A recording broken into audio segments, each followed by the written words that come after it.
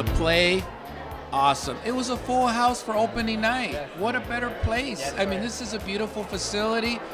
They're doing wonderful work here. I thought it was a wonderful production. I thought everybody carried their their weight. The actors, actresses did a fantastic job. The actors were very much their characters.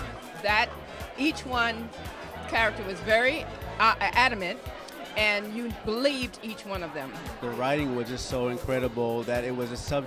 There were so many underlying subjects that the writer dealt with in with humor.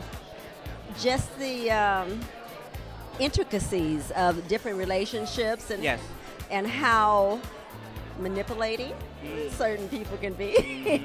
It was totally a universal story. Yeah. The politics was certainly, you know, specific. Yeah. But the relationships were just Yeah. the same as every human being in the world has. love is a universal story and so you can't you can't separate yourself by color and and this audience didn't and it was really really beautiful the audience was with everybody on stage and i loved seeing that There's a lot of love here for the arts, and that's what counts. And that you're showing diversity, even it's an, as a plus as well.